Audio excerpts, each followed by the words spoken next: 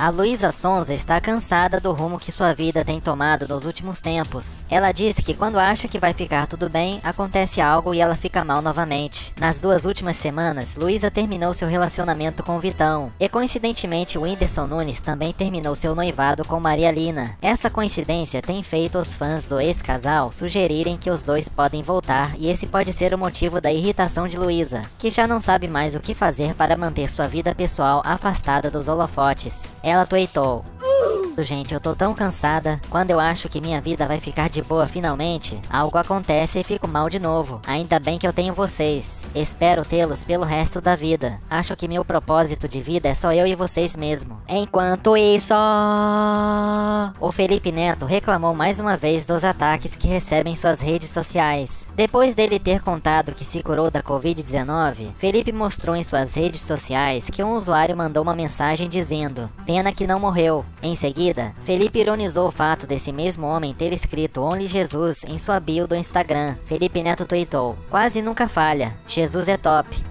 da quem não entende que ele defendia amor sobre todas as coisas. Eu uso o episódio dele virando as mesas dos vendedores no templo para justificar todo tipo de violência e babaquice. E também a notícia! Os youtubers Nilce e Leon fizeram um vídeo falando sobre os últimos acontecimentos no Afeganistão depois que as tropas americanas deixaram o país. Mas os dois receberam críticas afirmando que eles não teriam conhecimento para falar sobre o assunto. Um usuário postou esse tweet: Entenda assuntos com casal de feios que só jogam videogame. Os youtubers foram defendidos pelo público e a seguinte publicação viralizou: Nilce, formado em jornalismo. Leon, formado em relações internacionais. Twitteiro feio e. Então é isso, galera. Essas foram as notícias do dia. Se você gostou, não se esqueça de se inscrever. E até a próxima!